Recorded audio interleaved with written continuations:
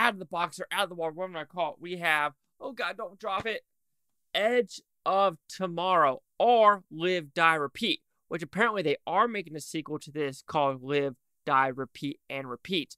But this is probably the weirdest movie, which they didn't know what to call it. It's like, I swear to God, it was Live, Die, Repeat in the first two weeks of release. Then they switched it to Edge of Tomorrow because no one was seeing it and they were so damn confused. Should they have been confused or should they have watched this film?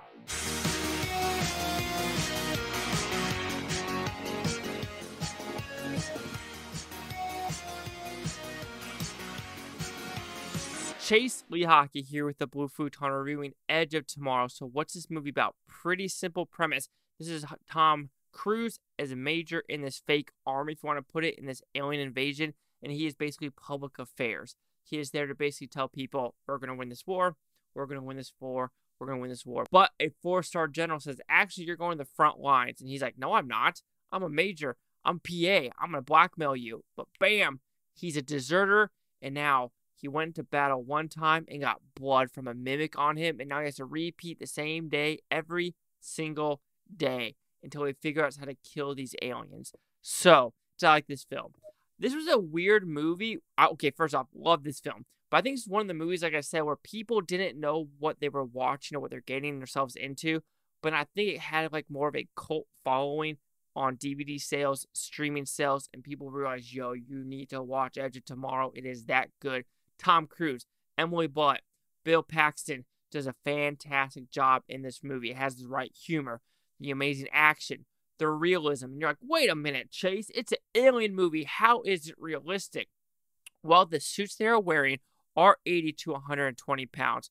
They are doing a lot of stuff in backlots. The really only CGI elements are probably the aliens and some background effects, explosions, them running, them shooting the guns are all real in camera, and that's why this movie works.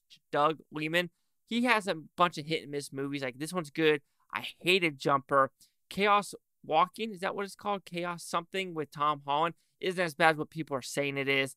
Uh, he also did, I think, the first Bourne movie. Yeah, he did Bourne Identity, and I think he's going to do Live, Die, Repeat, and Repeat, and a new Tom Cruise movie where Tom Cruise is doing a spacewalks with SpaceX. So I'm very interested in what he's about to do next. But he does a great job behind the camera. It's written fantastic. Christopher McQuarrie, again, he wrote this one. Everything that guy touches, I swear, is gold. That Mission Impossibles, Top Gun Mavericks. He's probably done way more that's in his filmography. That's like, yo, you're actually you're like the Aaron Sorkin of action movies when it comes to doing a solid damn script. Like he's a plus scriptwriter, fantastic. Emily Blunt, I can't say enough. She does a fantastic job. She holds her own 120%. Tom Cruise holds his own 120%. The movie holds its own 120%. It's fantastic, nonstop, hysterical. There are parts where he's supposed to die, and it's never boring. With movies like this, you could become boring where it's like, okay, we're doing a Groundhog's Day, we're doing a Bill Murray Groundhog's Day, but there's enough oh shit moments are like, wait a minute, we're actually changing the story here where it keeps you entertained for the whole roughly two hour esque movie. If I have to give some negatives to Edge of Tomorrow, ooh, what are some negatives of this movie? Man, you have to be so damn nitpicky to talk about this movie. Yeah, you can say it's somewhat generic and it is kind of predictable. And it could be a cliffhanger and ending where you're like, ooh, what's he going to say? Does Emily Blunt actually know what's going on? But it's a fantastic sci fi movie. This one is very hard to find faults for, but it's also a very hard movie to give 100% because you watch it. Yeah, it's a good movie, but you're like, it's fun. It's fun, but it's not on that level where I could be like a Tremors kind of sci fi movie. Like that one holds something special in your heart where every time you watch Tremors, it's like Chef's Kiss. Here it is a Chef's Kiss, but it would make me feel kind of dirty to give it 100%. Have you ever felt that way? Where it's hard to give a negative, but it's also hard to give it 100%. Am I a hypocrite when it comes to Edge of Tomorrow? But overall, fun, fast paced, great action, great comedy. It really, really holds its own. Edge of Tomorrow will receive a four and a half out of five with futons equals at 90%. Let's see the critics news scores gave this one. We have critics a 91% with 337 Audience score 90% with over 100,000 critic consensus. Gripping, well acted, funny, and clever. Edge of Tomorrow offers entertaining proof that Tom Cruise is still more than capable of shouldering the weight of a blockbuster action thriller.